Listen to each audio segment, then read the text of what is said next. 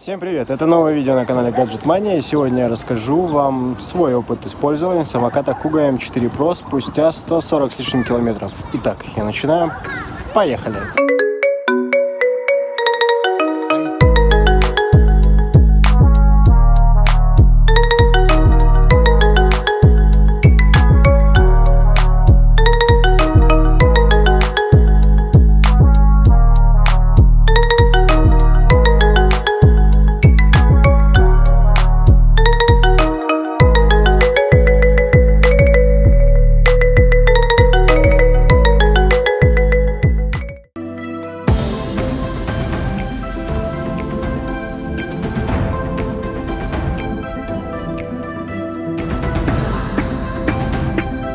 Вначале что-то я немножко как бы не 140, а уже 156 в принципе.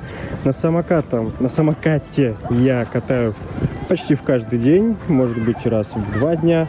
Но 156 километров это примерно середина апреля, а сегодня 12 мая. То есть примерно так и считайте.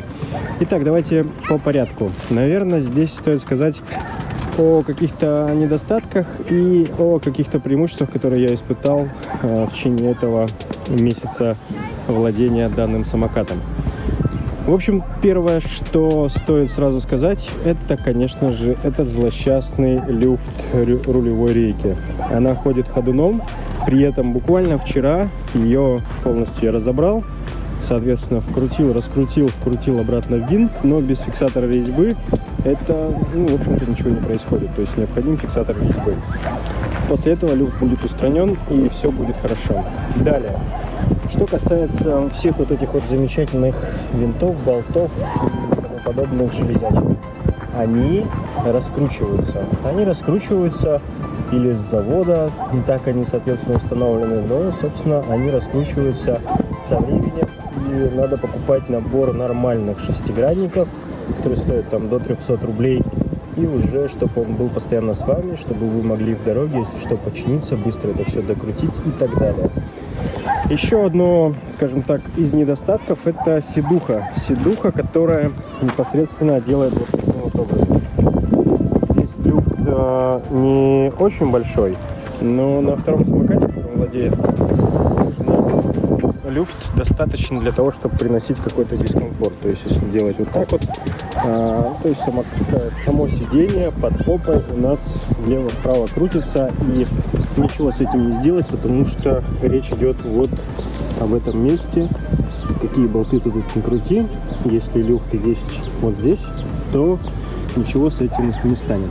У меня было сделано э, влагозащита, соответственно, герметик потихоньку он отколупливается.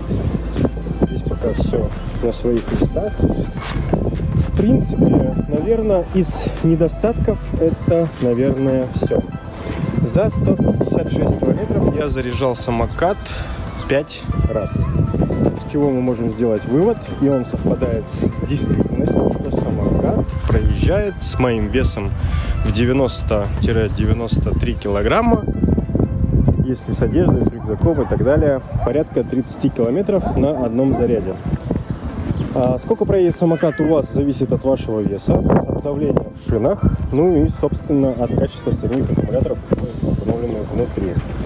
При полном заряде самокат показывает у нас вот такие вот циферки. Вот здесь вот сейчас вот указано, секунду, 48,1 Заряжается он до 53 и 2-53 и 4. Сегодня я проехал, в принципе, достаточное количество времени. И еще осталось... А, то есть я истратил одну треть заряда аккумулятора. В общем-то и целом о недостатках, скорее всего. Докапываться до вот этой вот фары, которая светит, некоторым не нравится, как она светит пожалуйста, устанавливайте любые другие элементы на рулевую рейку, и у вас будет другая фара. Дека пачкается в холодное, точнее, в, во время, скажем так, дождя. Вся грязь остается на деке. Я, соответственно, в подъезде тряпочкой, перед тем, как занести в квартиру, это все дело вытираю, протираю и так далее. Сидеть на самокате удобно, руль регулируется по высоте достаточно хорошо, то есть э, выброс наверх у него, скажем так, с запасом, то есть я метр восемьдесят практически, мне все комфортно. Ну, я думаю, в принципе, если даже мой племянник, он высокий ростом, мой сын, он высокий ростом, катался хорошо, то есть будет комфортно даже высокому человеку. Что касается, в принципе, тех моментов, которые мне понравились. Во-первых, все обращают на тебя внимание. Во-вторых, ты очень мобилен. Даже в нашем городе случаются пробки. Не очень комфортно ездить по тротуару, потому что тротуары не в Москве и не в Санкт-Петербурге у нас все подубитые, соответственно, подтряхивает. И если ехать по дороге, то весьма-весьма комфортно. Ну, даже при езде по тротуару с ямками, с небольшими колдобинами, с небольшими выемками, все равно ты испытываешь некое удовольствие. Ты мобилен, ты можешь просто взять и поехать, без разницы какая погода. Я на нем ездил и в дождь несколько раз, я его и заряжал, так получилось, что оставил на зарядке на улице, и э, начался дождь, ничего не случилось ни с зарядным устройством, ни, собственно, с самим самокатом поводу зарядного устройства, если вы не знали, то вот здесь вот есть техническое отверстие. Вот таким вот образом оно выглядит.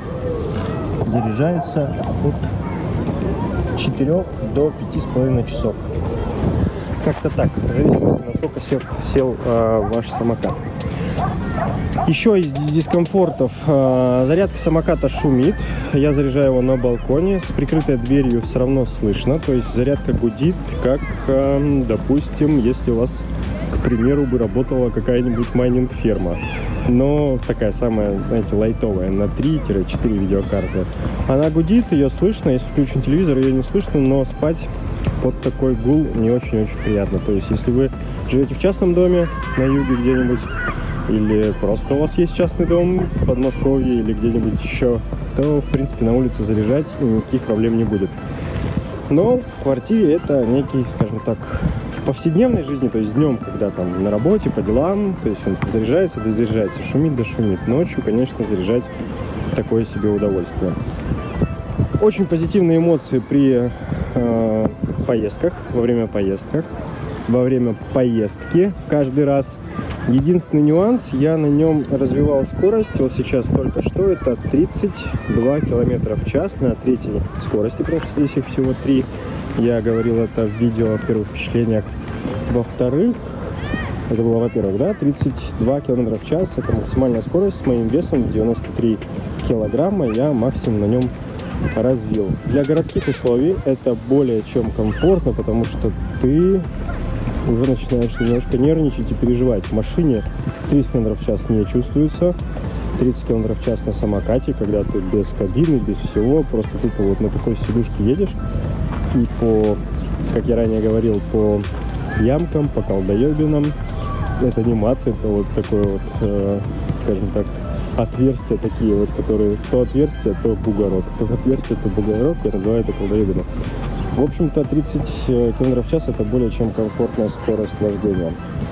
Далее, посмотрим, что из этого выйдет. То есть 156 километров это, в принципе, достаточно уже хороший такой пробег для, для электросамоката.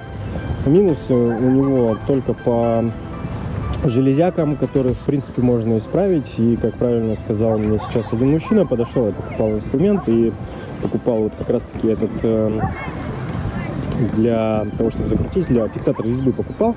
Мужчина подошел, говорит, можно поинтересоваться. То есть люди подходят, спрашивают, некоторые там очень сильно удивлены, и у меня в городе их всего два. То есть у меня и, соответственно, у жены. Больше таких моделей в городе ни у кого нет. По крайней мере, я не видел. Есть самокаты Xiaomi, есть самокаты каких-то ноунеймом X-Bit или еще что, продает, что продается в видео, но это обычные электрические самокаты без сидений, которые проедет там 10 километров, 12 километров на одном заряде и до свидания. Тут, конечно же, китайцы соврали, как всегда, но все зависит от веса, все зависит от давления в шинах и от качества самих аккумуляторов, потому что даже в одной и той же партии может быть э, разные аккумуляторы от разных производителей, и, соответственно, некоторые работают чуть лучше, некоторые чуть хуже. Сейчас я выставил рекомендуемую мощность двигателя на 85%, мне это более чем достаточно. Косяки, которые можно исправить, они исправляются, ну и дальше все это дело эксплуатировать. По расходникам посмотрел в чужом видосе, по-моему, зовут парня Илья. А, соответственно, тормозные колодочки у нас стоят 200 рублей или 150 рублей комплект. А, а соответственно, эти колеса, э, не покрышки, а, господи, внутри камеры, 100, 450 или 420 рублей. То есть э, покупать надо заранее, потому что все идет с Китая. Если что, кстати, ссылки будут в описании. Как-то так. В общем и целом, это вот мои вот впечатления и мой опыт владения самокатом спустя 156 километров вождения. В принципе, я более чем доволен. Есть нюансы, не стоит о них умалчивать, но они исправляемые, как я уже говорил ранее. Поэтому подписывайтесь на канал, не пропускайте новых видосов, зажмякайте колокольчик, пишите Дональд Дак, если досмотрели до этого момента. Совсем скоро увидимся. Всего доброго. Пока-пока.